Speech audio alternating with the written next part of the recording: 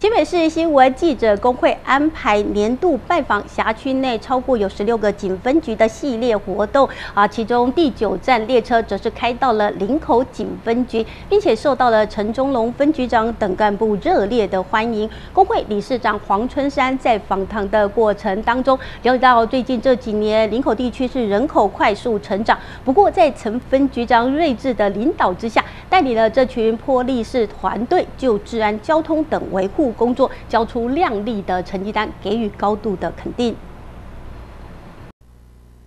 走进会议室，第一眼就清楚看见林口警分局精心制作欢迎新北市新闻记者职业工会的这个大型投影看板。黄春山理事长和工会干部等人非常感谢人民保姆在忙碌之余的用心，令人感动。而这是记者工会今年首度安排到所属辖区内十六个警分局进行拜会的系列活动，其中第九站列车则是开到林口警分局，并且受到陈忠龙分局长等干部热烈欢迎。同时还分享在治安上破获台湾史上落地最大宗的毒品案，总市值超过五亿元，可说是成功拦阻毒品流入市面，也为国人健康安全把关。此外，陈局长强调为民服务、治安以及交通等三大主轴工作，要求同仁一定要彻底执行，才能够让市民安居乐业。非常谢谢我们黄理事长率领我们新北市记者职业工会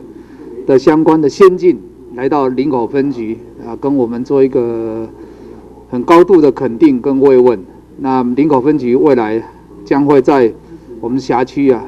更进一步、更努力的把治安工作、还有交通工作及为民服务三项我们警察的工作大主轴，继续的努力，继续把它给做好。在会谈中，黄春山理事长从分局长的口中得知，近几年林口地区人口快速成长，这群破力士团队就治安、交通等工作成效交出亮丽成绩单，给予高度肯定。年度的拜会参访活动，今天很高兴来到林口检分局。那么，首先感谢我们陈分局长领导的呃治安团队，这个对治安跟交通以及为民服务。交出有一个亮丽的成绩，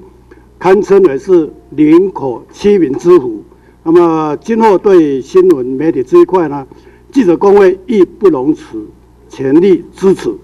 此外，平常媒体比较有业务接触的副分局长黄家维、侦查队长陈伟廉、交通组长陈文雄、秘书室主任陈俊如，还有秘书室承办人员李建德也共襄盛会。随后，双方也互赠纪念品，最后大家拍照合影留念，期盼未来能与工会的记者们紧密交流，透过媒体报道，共同为打击犯罪尽份心力。记者黄佑贤林口报道。